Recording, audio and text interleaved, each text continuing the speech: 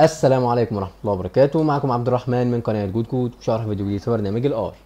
النهاردة هنتكلم عن إزاي أضيف row جديد عن طريق خاصية الإيه؟ ال R bind يبقى هنتكلم النهاردة عن إزاي أضيف صف جديد تمام عن طريق ال R bind function في البداية كده إحنا المرة اللي فاتت اتعلمنا إزاي نعمل matrix تمام وبعد كده اتعلمنا إزاي نعمل نستخدم ال C bind وال R bind واتعلمنا إزاي نعمل أسماء لل rows تمام عن طريق ال row name وفي برضو حاجة اسمها ال col names نعمل أسماء ال column بس كده كده ال column أنا مش محتاج أعملها أسماء تمام. وبعد كده اتعلمنا إزاي أبدل الرو بالكولم والكولم بالرو عن طريق حاجة اسمها transpose اللي هي تبديل الموضع اللي هي T function تمام. دلوقتي أنا عايز أتعلم إزاي أضيف row جديد تمام عن طريق ال R bind أضيف إزاي row جديد؟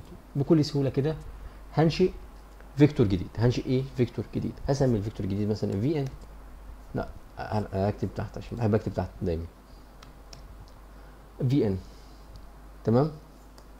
less minus وهدي ال vector الجديد مثلا قيم. قيم مثلا قيم عادية. مثلا هديله 11 تمام؟